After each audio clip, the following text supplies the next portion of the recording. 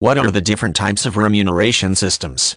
The key focus in understanding the different types of remuneration systems is the fact that the basic underlying principle in all manner of remuneration for work done involves some form of economic-related compensation in return for the services performed.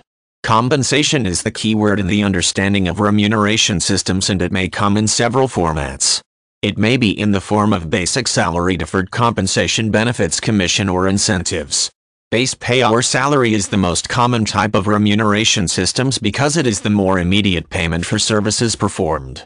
This type of remuneration system is classified as a basic rate scheme since the exact amount of pay in this remuneration system is based on the exact terms of the contract between the employer and the employee. As such the employee knows exactly how much to expect and at what time to expect the remuneration.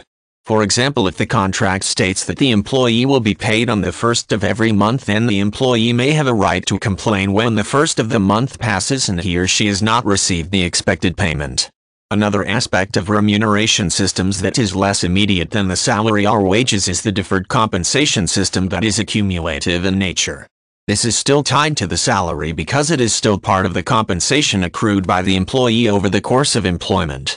Deferred compensation may include pensions and other types of retirement packages that employees may earn if they fulfill certain terms or conditions in the employment contract. In this sense this type of remuneration system may be classified as incentive-based or as a benefit of employment. Insurance is another type of remuneration system but is may be classified as a benefit. To a large extent benefits do not have to be monetary as they can come in many other beneficial and compensatory forms that do not necessarily involve cash yet still economically benefit the employees.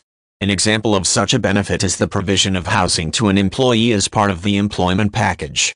This type of employment benefit does not usually involve the remittance of physical cash to the employee since the employer usually takes care of any payment related to the accommodation directly. Still the arrangement offers the employee an economic benefit by relieving the employee of the burden related to housing expenses.